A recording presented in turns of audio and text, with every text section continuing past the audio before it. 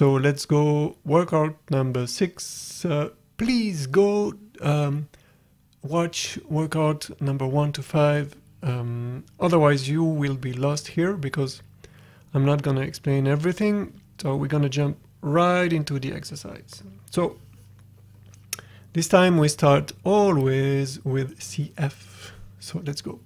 CFE, CFD,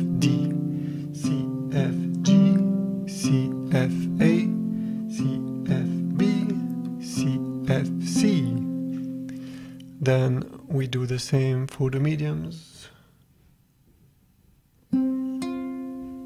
We go to E, we go to D, then we go to G, then we go to A, when you go to B, CFC. Okie doke. Now let's go to high notes.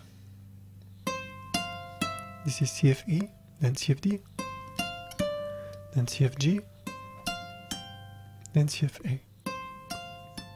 Then we go down the scale to the top of the kora.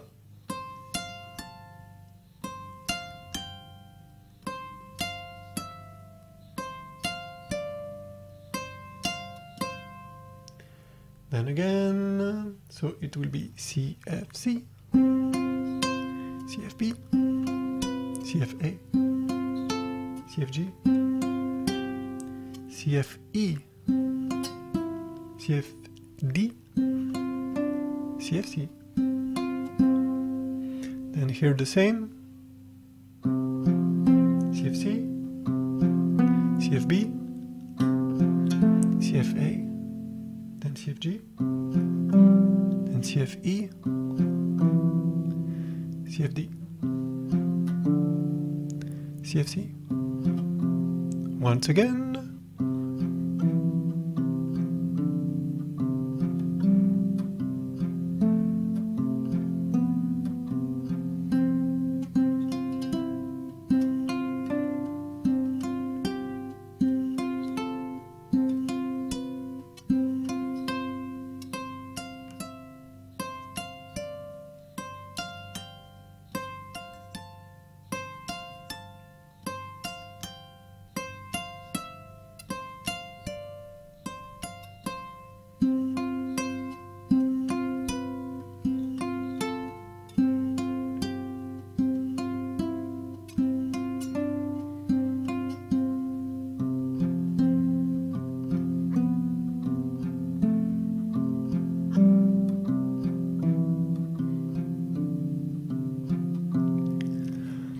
Okay, so what you can do now, you can put a metronome and do it in three speeds as I did for the previous workouts.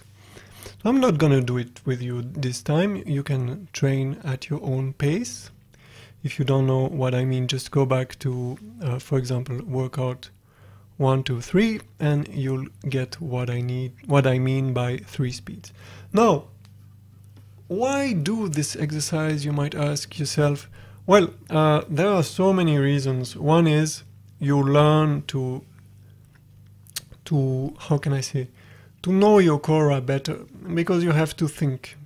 Because I'm going C F E C F D, so I have to think where I'm going. I'm going to from F to E to to D, then I have to jump to G, then I go again, and and uh, I mean this helps you have a clear map of your kora. I always uh, emphasize on this because it is so important.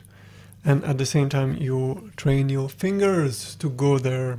So I think it's a really good exercise. And also, you might have noticed that it sounds different. It sounds, gives you another character to your kora. Now, when you start with CF, because it's a different chord maybe from what you usually use. Uh, so it gives you ideas. When we were starting with CD, it's a totally different character from starting from CE. Than now when we start from CF.